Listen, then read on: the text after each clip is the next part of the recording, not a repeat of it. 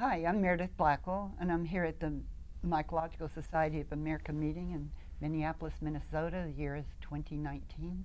And this is part of the Oral History for Mycology project that we initiated last year.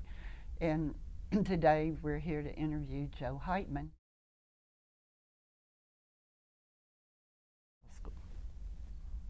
So, Joe, I would like to know where you were born, uh, what kind of family. Did your family have a really academic background that encouraged you? What happened? Well, I was born in Ohio. I'm a Buckeye. Hmm. And um, What part? we lived in a very small town there called Leipsic. So I was born in Lima, and we lived My there. uncle lived there. Ah. My dad worked in a um, tomato canning plant there. He was Hmm. the um, the plant engineer, so he was responsible for keeping the lines moving during canning season. And my mother thought there were better educational opportunities north of there, so we moved to Kalamazoo, Michigan when I was four or five, Mhm. and then into Portage, Michigan, where I grew up. And I lived in Holland for a while, Ah, six years. My sister went to Hope College. Okay. Did she like it? She did. She did Okay. very well there, and then she went and did a master's at the University of Michigan, and Mm-hmm. she's an elementary school teacher in Colorado now. and you went a different way, in a way. I think uh, quite a few of us ended up being educators Mhm. of sorts in my family, and um, my mother was a specialist in the teaching of reading, and she worked primarily as a substitute teacher while I was growing up. Oh, so your family had been to college, and Both both my Mm. parents went to college. Mhm. My dad went to a um, um, the University of Chicago at Champaign Ur- Mhm. Urbana as an engineering major. He's a retired mechanical engineer. And my mother went to Chicago Teachers College and then Western Michigan University, and she went as far as a master's degree in the teaching of Mhm. reading. And and so were you destined to be a doctor when you started out, or Uh, I, I think you'd say I was a science nerd at the Mhm. core growing up. I um, early, early on? I had a microscope, a telescope, a rock collection, a rock tumbler. I was an amateur radio operator. I built a Oh, lot of radios and things. Um, and uh, gravitated towards science and math. And Mhm. And so that was grade school, high school. I think it probably started in elementary school, Yeah. but um, my ninth grade honors biology teacher, John Gowdy, I think is the person who really put me on a track towards um, what I ended up doing in science. And um, he was my biology teacher in both ninth grade and 12th grade. And um, I went to a public high school, Portage Northern High School. But it was unusual. There was a physics teacher, an outstanding calculus teacher, two chemistry teachers. We had both inorganic and organic chemistry, school. including an organic chemistry lab in high school, That is unusual. Uh, especially in the public school Yeah. system. yeah, it's hit or miss. Sometimes you get a good one. Uh, what about in, in college? Where did you go? I went to the University of Chicago, Okay. and I was a chemistry, biochemistry Mhm. major there. And at the time, they had a special program. You could take both undergraduate and graduate classes at the same time. You could do a combined um, bachelor's, master's degree in a compressed four-year period, and it it sounded like a good idea at the time, but they kept increasing the requirements the further I got into the program. So by the end, I think I had taken about eight graduate level classes and um, in organic chemistry and biochemistry and protein biochemistry, medical school biochemistry, and So your your high school chemistry had really helped. it certainly did. That was an outstanding preparation, Mhm. and and I worked in a whole series of labs while I was Mhm. there as well. And so were you one of many who wanted to go to med school? And There were quite a few um, students planning to go to Mhm. medical school. In my case, I started working in an organic chemistry lab if you did well in organic chemistry rather than doing the regular lab associated with the course, they would place you into an organic chemistry lab. And so I started working with uh, Joe Fried, and he had worked at um, Squibb. He'd been uh, in industry. Mhm.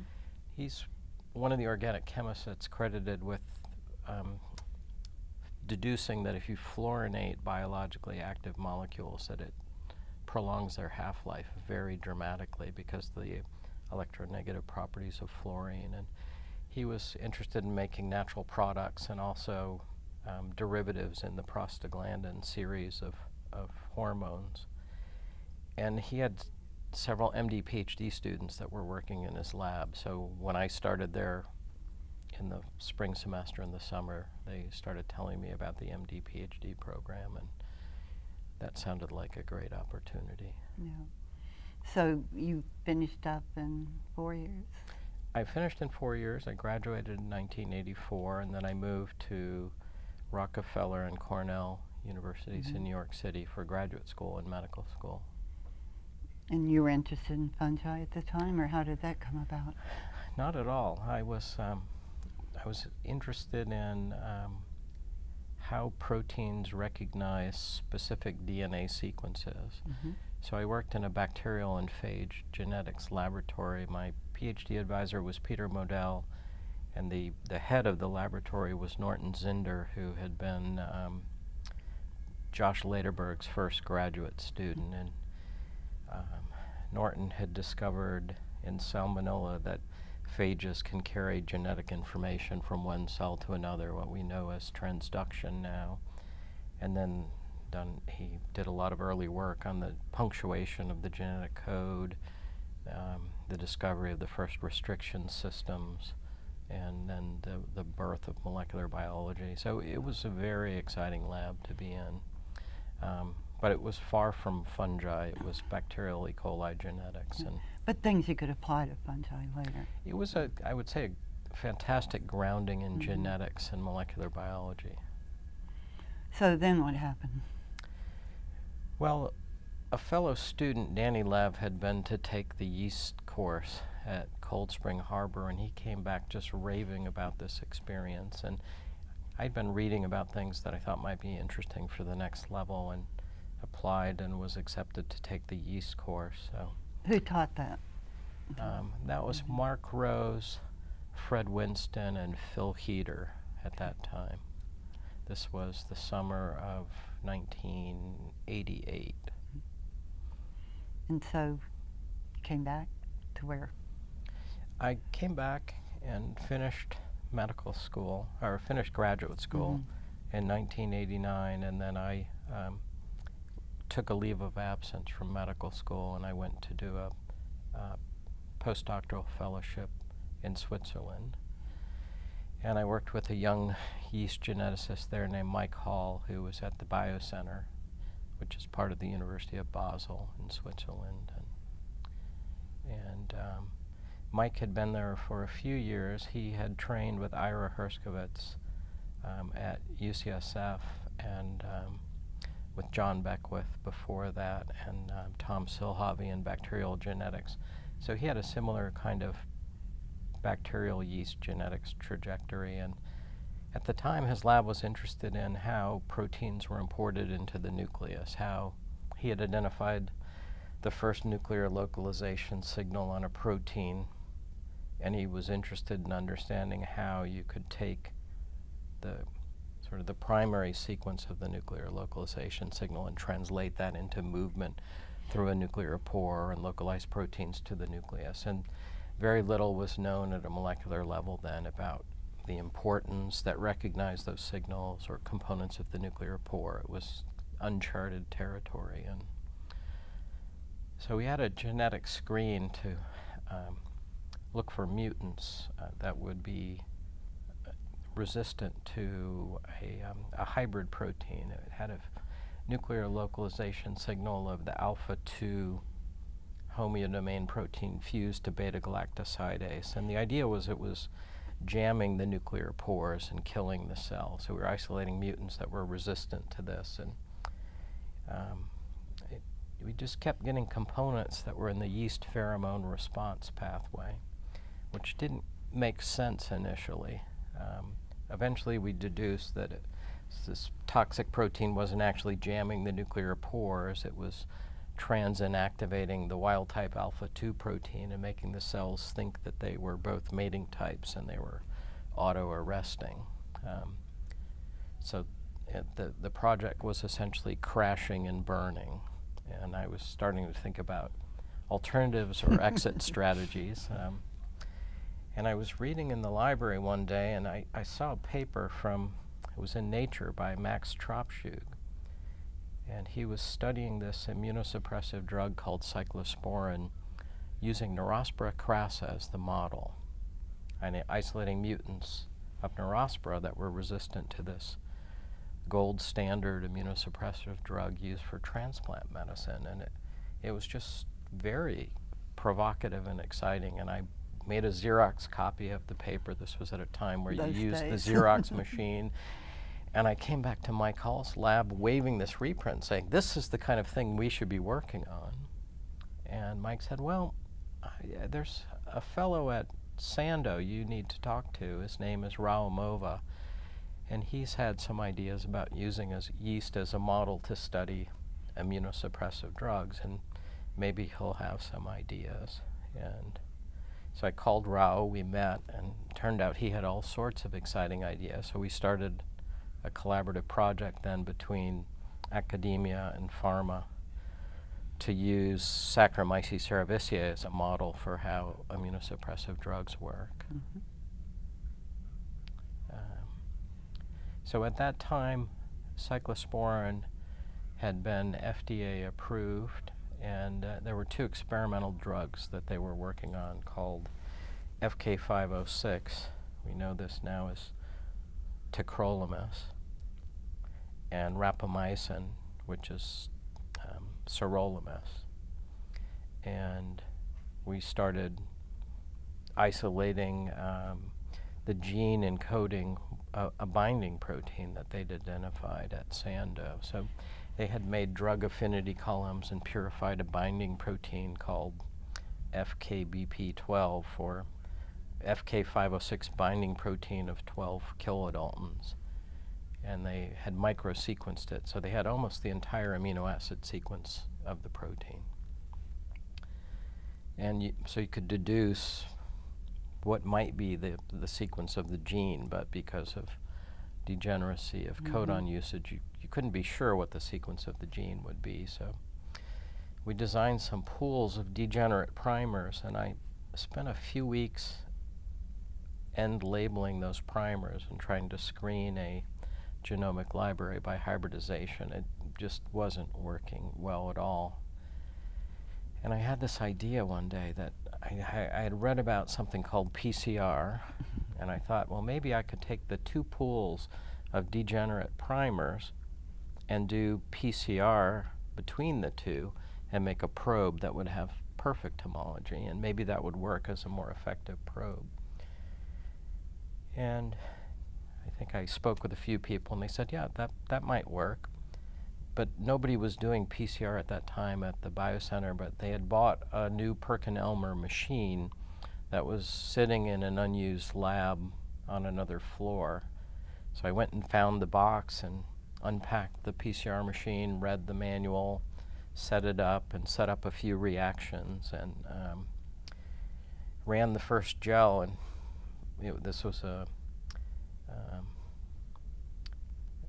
a um, agarose gel stained with ethidium bromide, and you put it in the transilluminator, and you couldn't see anything. And I thought, well, of course, it didn't work. And but then I thought, well, maybe if I just destain it a little bit, these are not going to be very large products. I was gently destaining this gel, and suddenly you could see a band appear, and cut it out with a, a scalpel and electroeluted the DNA and made a probe, and that, that was how we cloned the gene encoding FKBP12 from yeast. Um, so I think it was amongst one of the first uses of degenerate PCR to, to clone a gene. And then the, the next experiment was to delete the gene and see what the phenotype might be. So at the time, it had been identified as this drug binding protein, but no one was really sure whether or not it would be relevant because it was so abundant and it was in every tissue in the body. And these drugs have a very specific action on T lymphocytes. So a lot of immunologists thought that this protein would be a red herring, so to speak. But we made a, a, gene deletion allele, transformed it into yeast, both into haploids and diploids in case it might be essential. And it was successful in deleting the gene in both settings and became clear the gene itself was not essential. Um, but deleting it did change some of the toxic activity of FK506. And um, even more prominently, it made um, yeast cells completely and absolutely resistant to rapamycin, which was much more potent. Um, so it became clear that the protein was critically involved for drug action. And um, so you have a binding protein, the drug binds to it, and the model was that this is the actual drug in the cell. It's a protein drug complex. So you could think of the drug as prodrug. And then the question becomes well, what's the target then of this complex? So we isolated spontaneous yeast rapamycin resistant mutants and we could quickly show that they identified three genes, mutations in just the binding protein itself, which fit with gene deletion studies.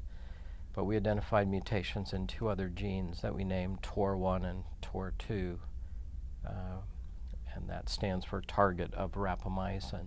Um, and those turn out to be the conserved physiological targets for the drug, not only in yeast, and other fungi, but all the way to human T cells. Um, so it was. It turned out to be successful after a, a failed postdoctoral project. So you sometimes failure is what leads to yeah. a success. well, you completely changed your direction, almost. Well, people sometimes ask, why did you go to medical school? And I, I don't practice medicine. I didn't I completed medical school, but I didn't do any clinical training. But it's an amazing education, and it changes the way you think about science and problems mm. and how you frame problems. At, at the time, we were really interested in trying to understand how signals were transmitted from outside to inside the cell.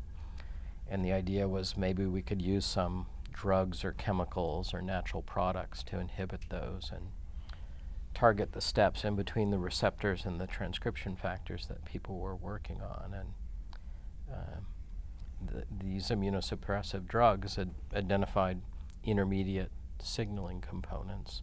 In the case of TOR, it's a novel protein kinase. In the case of cyclosporin and FK506, um, Jun Liu and Stuart Schreiber's lab discovered that their common target is a phosphatase called calcineurin that's also conserved all the way from fungi to humans. And the antifungal activities of those natural products are mediated via the same targets as well. So you stayed in Basel how long? I was there a little less than two years. Oh, gosh, you got a lot done. And yeah. then? I came back to New York City and finished medical school in 1992. I graduated in June, and then in September I moved to North Carolina mm -hmm. to start at um, uh, Duke University in what was then the Department of Genetics. And, and you've been there ever since? I have. Uh, September 1st, it'll be mm -hmm. 27 years. Wow. And you're an administrator before you got there. What happened? before I became an mm-hmm. administrator? Mm -hmm. Well, I, the first year or two, I set up my lab working on yeast as a model system, and I often say I was a myopic yeast geneticist. I worked on one organism, one lab strain, sort of one problem. And then my first student, Mike Lorenz, became interested in nutrient sensing and began working on both the role of the TOR pathway in nutrient sensing, but on pseudohyphal differentiation that had just been rediscovered in the Fink lab. And um, is a very interesting dimorphic transition that this yeast can undergo. In Candida. This was in in Saccharomyces Saccharomyces, cerevisiae. okay. Yeah, so um, the budding yeast had a whole nother hmm life cycle that um, had been um, unappreciated for many, many years, in part because the lab strains, as they were domesticated to be lab strains, people had selected against flocculation and fuzzy colonies. Yeah. And uh, it turns out later they have a mutation in FLO8 that blocks their differentiation. So we started working on nutrient sensing and pseudohyphal differentiation, and then um, one day the phone rang in my office, and it was John Perfect, who is now the ID division chief at Duke, and he was looking for a yeast geneticist to work on a pathogenic yeast called Cryptococcus. Um, and he had a previous collaborator with whom they developed a, a biolistic transformation system. He had taken the yeast course himself in 1987 and come back from that experience thinking that the field of medical mycology needed to do something more like yeast genetics and um, develop molecular biology and genetics for these pathogens. And his focus was on Cryptococcus because of his some of his early clinical experiences with patients. Um, and he'd called all the other yeast geneticists on campus, and none of them were interested. So I was the last person he called, and I, I went over to his office, and he had some reprints about activity of cyclosporin against Cryptococcus, and I left with a few reprints and a petri dish with the type strain on it, and we started working on it essentially right away in the lab. But what I think really sealed my fate in a transition into medical mycology was he sent two people to work with me. One was an undergraduate that had worked in his lab one summer named Audrey Odom, and Audrey worked in my lab for three years while she was an undergraduate, and I don't think either of us, I don't think she appreciated how good she was. She ultimately was an MD PhD student at Duke, and then she went on to pediatric infectious disease training at the University of Washington, joined the faculty at WashU, working on developing novel um, targets for drug development for malaria, and she's just moving to Children's Hospital in uh, Philadelphia. She's going to be the infectious disease division chief there for pediatrics but she was one of the first people to work on Cryptococcus in my lab. She published three papers as an undergraduate, and her work led to three NIH R01 grants funded on Cryptococcus. So subsequently, I've had 46 undergraduates in my lab trying to continue to repeat that level of success. Um, th the other person that he sent to me was a medical fellow named Andy Alspaugh, and he's now a full professor at Duke and um, very well established medical mycologist working on Cryptococcus. And he directed the Woods Hole molecular mycology course. He's been on the pathogenic eukaryote study section and trained a whole cadre of very talented um, graduate students, some of whom are now running their own labs. Um, Liz Ballou in Birmingham and Teresa O'Meara just took a faculty position at the University of Michigan. and there's there's a young undergraduate here who told me today that she just accepted a, a job working in Teresa's lab in Ann Arbor that they're both very excited about. So they were the first two people in the lab to work on Cryptococcus and um, really set us on a strong path forward.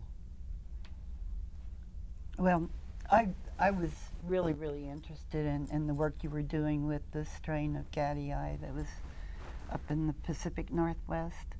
And could you were telling me the other day, but could you talk about that a little bit?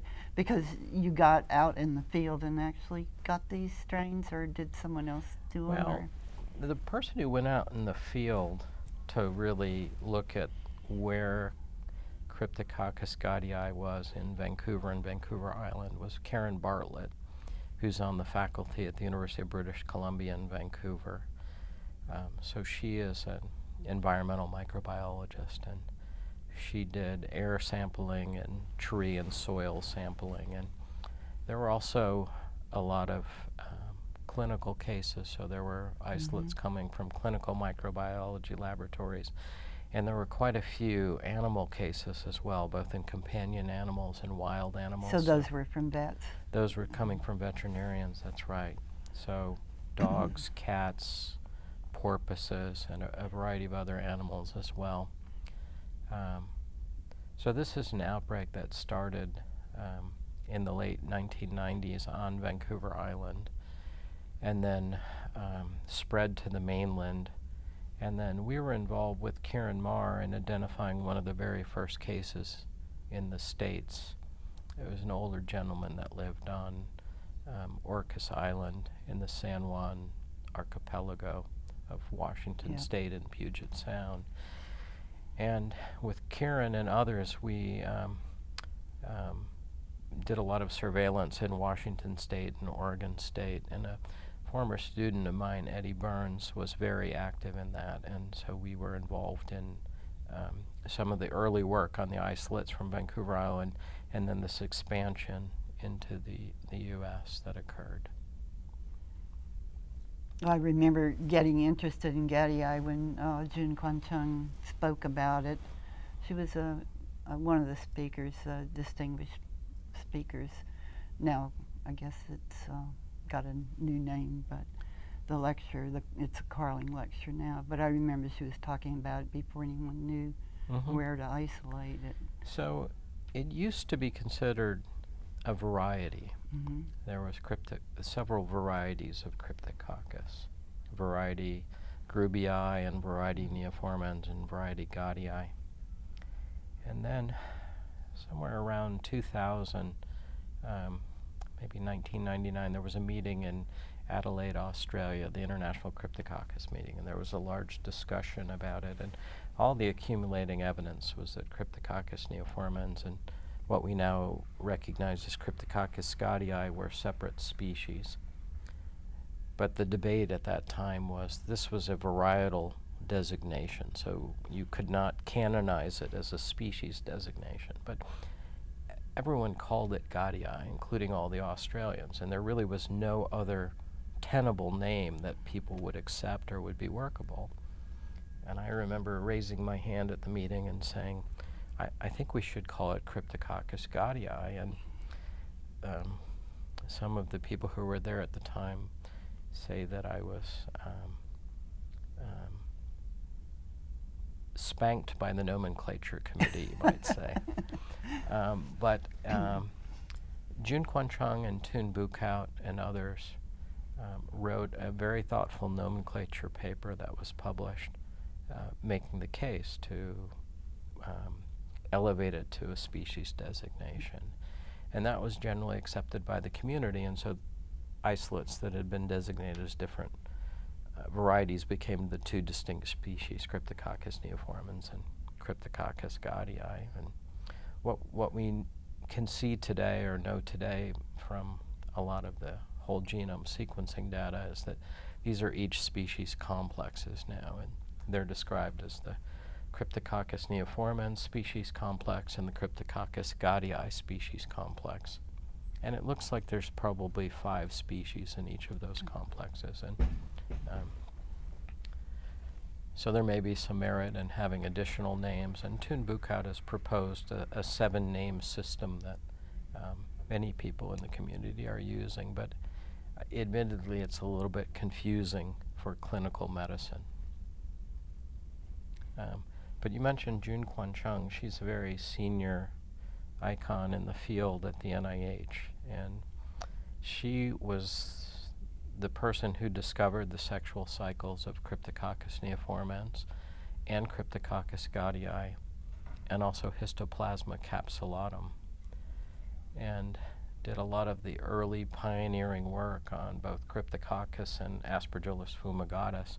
And she has an active lab that continues to this day, and she has, um, I would say, an encyclopedic knowledge and memory of medical mycology, and that's a tremendous resource for all of us who moved into the field from Mhm. very different kinds of backgrounds. And that kind of expertise is just invaluable in a field.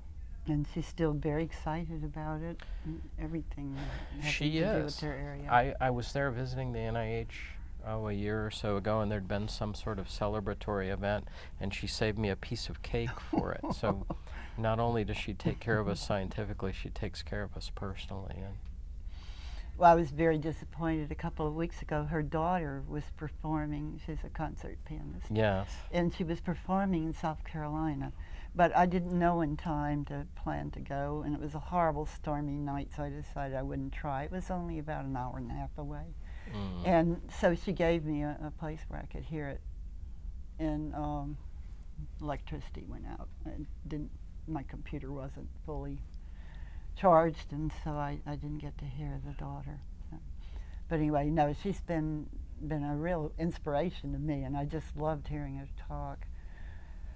But anyway, she got me interested in it, and of course it was just a cursory interest. But you you got me interested again with the business of the outbreak in British Columbia and Oregon and Washington. So that was really interesting to me. So, is there anything else you want to say? And Well, I would say there was another inflection point in my trajectory, and it um, involved being asked to be on the PhD thesis committee of Tim James, oh, who at the time was a graduate student with Re- Rytas Vilgalys at Duke. And um, I always say I learned more from Tim than he ever learned from me.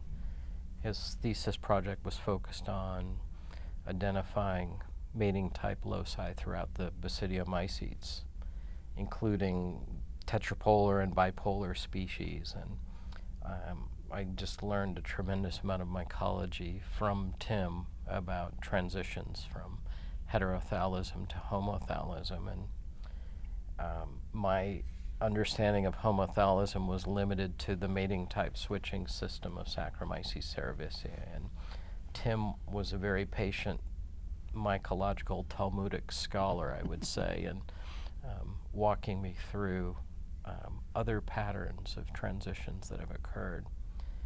And uh, Rytas um, had this idea that it would be useful to study the species related to the pathogenic species complex and helped us frame and understand what would be the nearest species to focus on. And these are not model systems. There's very few isolates for any of them, and they had exotic names like Tsuchiyaea wingfieldii and Bullera dendrophila and Filobasidiella depauperatus. And so I remember coming back from one of the Cryptococcus genome sequencing meetings with Rytas on a plane, and we sketched out on a, on a napkin or an envelope this um, grand scheme to focus on a whole panel of species.